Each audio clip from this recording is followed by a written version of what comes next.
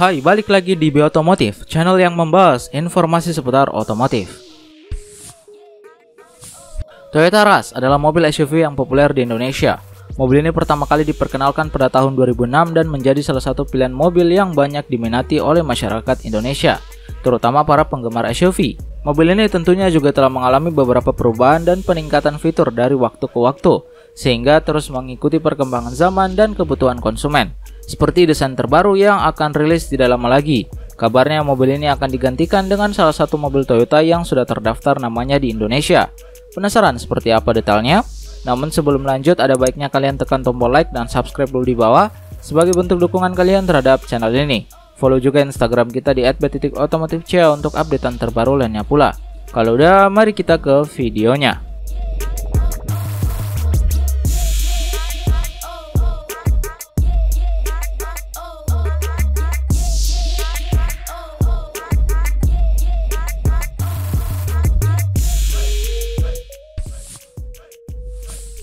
Berita terkait tentang kemungkinan penghentian produksi mobil Toyota Rush ternyata bukanlah sekedar rumor. Model mobil SUV yang telah menjadi salah satu model terlaris dari Toyota selama beberapa tahun ini kemungkinan besar segera diakhiri produksinya. Meskipun memang belum ada pengumuman resmi mengenai tanggal pastinya, Toyota sendiri diam-diam sedang mempersiapkan model baru dengan nama yang berbeda untuk menggantikan Toyota Rush. Informasi ini sendiri didapatkan dari situs kekayaan intelektual Indonesia pada situs kekayaan intelektual Indonesia ini terdapat informasi mengenai sebuah mobil baru yang didaftarkan oleh Toyota Motor Corporation dengan nama Raiza Space. Meskipun belum ada keterangan resmi dari Toyota mengenai hubungannya dengan Toyota Rush, beberapa prediksi menunjukkan bahwa Raiza Space kemungkinan akan menjadi penerus dari Toyota Rush yang akan segera dihentikan produksinya. Sebagai salah satu model mobil SUV yang sangat diminati oleh masyarakat Indonesia, Toyota Rush sendiri telah membuktikan dirinya sebagai mobil yang andal dan cocok digunakan untuk berbagai keperluan.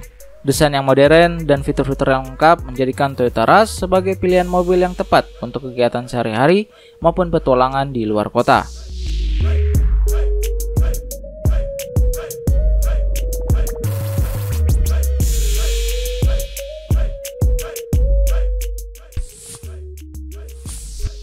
Salah satu sumber mengatakan bahwa Toyota sendiri juga digantikan oleh model baru yang memiliki basis sama dengan Vios, Avanza, dan model-model lain, di mana menggunakan platform Daihatsu New Global Architecture atau DNGA.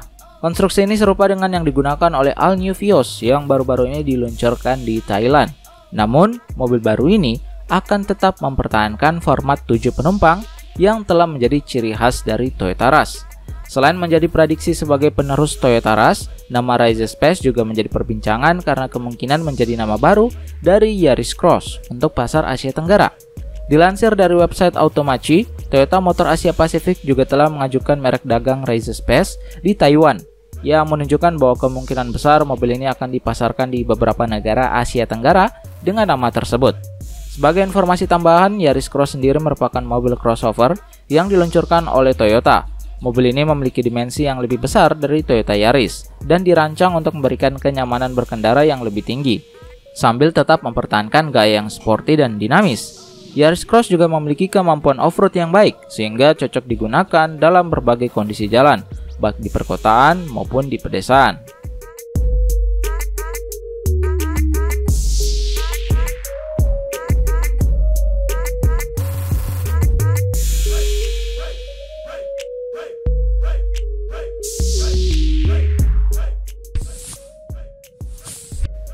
Mengenai Toyota Rise Space, salah satu perbedaan mencolok dengan Toyota Rise saat ini adalah dari sisi dimensi yang dimiliki.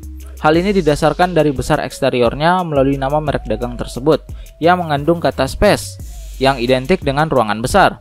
Dilansir dari media otomotif Jepang, Karepo, bahkan memprediksi bahwa panjang bodinya mencapai 4095 mm atau 100 mm lebih panjang dengan Rise yang dijual saat ini. Namun untuk lebar, tinggi, dan sumber roda tidak ada perubahan signifikan. Meski demikian, ukuran Rise Space masih lebih kecil dibandingkan dengan Toyota CHR maupun Corolla Cross. Secara keseluruhan, mobil ini mirip dengan dimensi Toyota Calya. Tentu jika kita bandingkan dengan Toyota Rush, Rise Space ini jelas lebih mungil. Sehingga ada kemungkinan lain Rise Space ini menjadi opsi tambahan, namun bukan pengganti dari Rush, sebagaimana mestinya.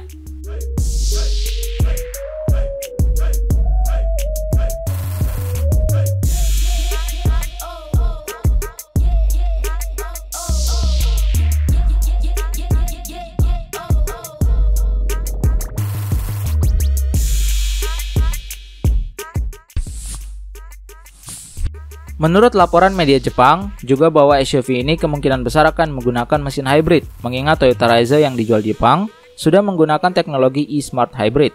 Mesin bensin yang dipakai adalah 1200 cc dengan konfigurasi 3 silinder, tetapi hanya sebagai generator untuk mengisi baterai. Sedangkan untuk penggerak rodanya sendiri, Raiza Space akan menggunakan motor elektrik yang bertenaga baterai. Mesin hybrid pada Raiza Space akan sangat efisien dalam penggunaan bahan bakar, diperkirakan mampu menghemat BBM hingga 27 km per liter.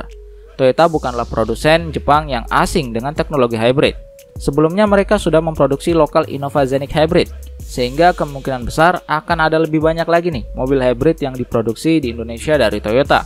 Selain hybrid, opsi lain yang mungkin dipertimbangkan untuk Rise Space adalah mesin 1200cc naturally aspirated yang digunakan pada Rise saat ini, serta kemungkinan penggunaan mesin 1000cc turbo. Sementara untuk penggerak roda, Rise Space akan menggunakan FWD, tidak berbeda dengan Rise biasa.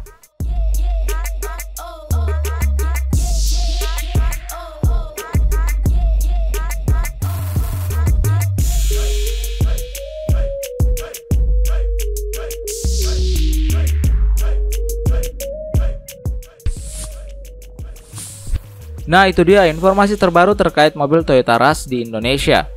Menurut kalian cocok nggak sih Rise Space ini menggantikan Rush di Indonesia? Dengan beberapa prediksi spesifikasi yang sudah beredar informasinya. Atau kamu lebih prefer nih Yaris Cross menggantikannya? Coba kasih pendapatmu di kolom komentar di bawah. Jangan lupa juga untuk klik like dan subscribe YouTube channel ini agar kita makin semangat nih untuk membahas informasi seputar otomotif. Follow juga Instagram kita di @batitik_otomotifca untuk updatean terbaru lainnya pula. Kami pamit undur diri dan salam otomotif.